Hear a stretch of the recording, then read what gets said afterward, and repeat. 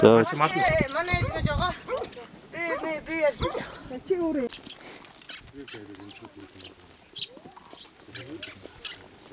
талыг тарчих.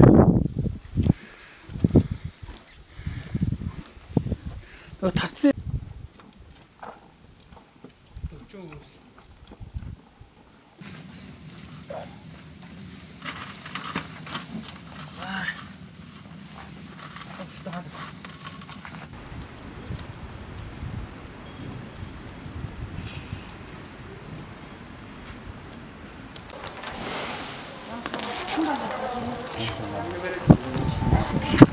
За Дус аймаг нь өнгөрсөн одоо 100 болвол зуншлаг муу байсан.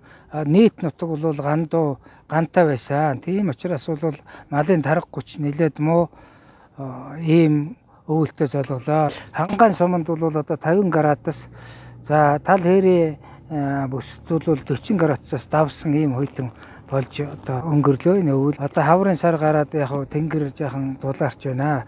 Гисэн хэдийч одоо их хүйтэнд одоо тарах хүч муутай мал их хүйтэнд бол дэсвэр их муутай малын хорогдол одоо оны эхнээс бол 220 мянган мал өнөөдрийн байдлаар хорогдоод байна. Тийм учраас бол Монгол улсын засгийн газар улсын онцгой комисс нэгдсэн үндэсний байгууллагын хүн сэдвээ ажихуйн байгууллага за Монголын улаан загалмай нийгэмлэг а, Европын холбооны санхүүжилттэй одоо хил хязгааргүй малын эмчнэр төсөлгээд төрийн болон төрийн бус олон байгууллагуудаас бол Баян хонгор аймгийн малчтад бол тусламж дэмжлэг үзүүллээ. Энэ дэмжлэгүүд бол цаг үеийн олсон маш их сайхан тусламжууд байлаа.